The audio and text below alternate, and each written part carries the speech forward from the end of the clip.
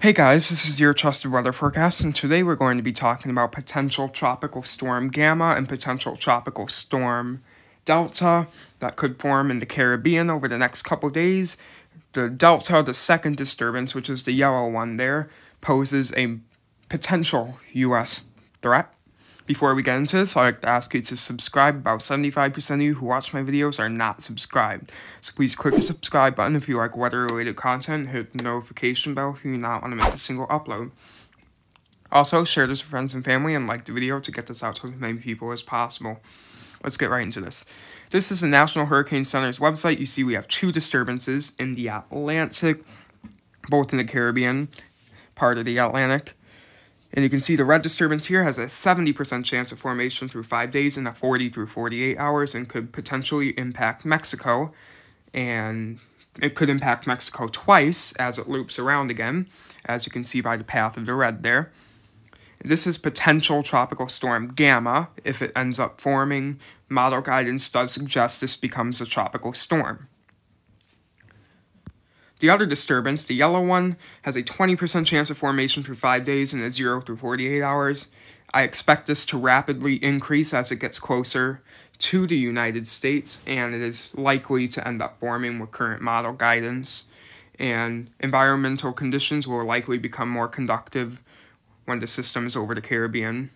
Invest 91L, which is the red disturbance we saw that could impact Mexico, all current model guidance has this becoming a tropical storm, and as it weakens after it makes its first landfall in Mexico, it will go back into the Gulf and potentially strengthen some more. With this current model guidance, it will become a tropical storm again. These are the potential paths it could take. You can see it'll likely make landfall in Mexico, pull into the Gulf, make a U-turn, and make another landfall in Mexico if it doesn't dissipate before then. The main threats from this system in Mexico will be very, very heavy rains and potentially some landslides. This is some current model guidance from that second system that could impact the United States. This is the latest GDPS model run. And you can see where that L995 is. That's where that system is. And you can see it pushes towards Florida and strengthens into 987 millibars before pushing back out to sea along the Carolina coast. Many solutions could be in play. Nothing may develop, something may develop and could potentially be a tropical storm, or something major could develop. It's really a boom or a bust situation for the second system. These are current sea surface temperatures in degrees Celsius in the Atlantic. You can see they are very warm in the Caribbean with 30 to 32 degrees Celsius waters. If any system, organized system, can tap into those warm waters, significant strengthening is likely if it's an organized system.